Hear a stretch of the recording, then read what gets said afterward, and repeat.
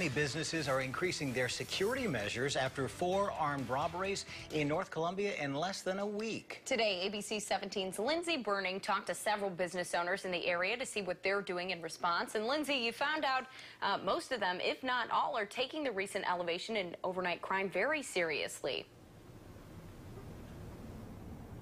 Marissa and Joey, I talked to about a dozen businesses today near the Columbia Mall and off of Rangeline where some of these robberies have happened the past week. And one business tells me it was actually broken into early this morning. Arena Liquor and Convenience Store says someone threw a big rock into the south side window, stole some money, and got away. Columbia police confirmed that happened around 4 o'clock this morning. Some other businesses in the area tells me they've put in place extra precautions because of the recent crime in the area.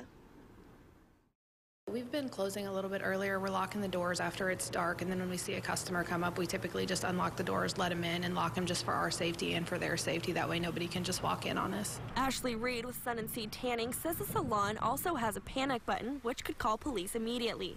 The tanning salon is only a few doors down from the Jimmy John's that was robbed Sunday night. She says they purposely don't keep much cash on hand, only about 20 to $30 at a time. But one of her concerns is poor lighting in the parking lot.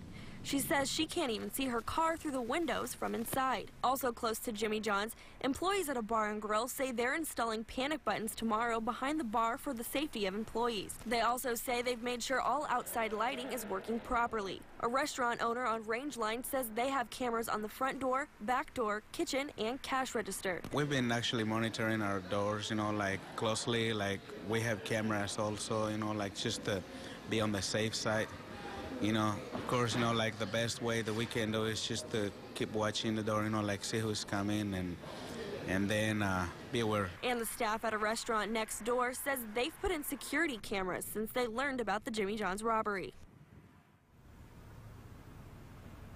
Now, those are just a few of the businesses I talked to today. Others tell me they've considered locking their door after dark and only letting in customers that have made appointments earlier in the day. And another restaurant manager that's open, whose restaurant is open 24-7, says in years past they've had sem seminars with Columbia Police about what to do and what not to do in regards to robberies, but they haven't had those in the past few years. Reporting live in Columbia, Lindsay Burning, ABC 17 News. Thank you, Lindsay. And a number of the businesses we talked to today say they're meeting to talk about what they can do together to keep their stores and restaurants safe.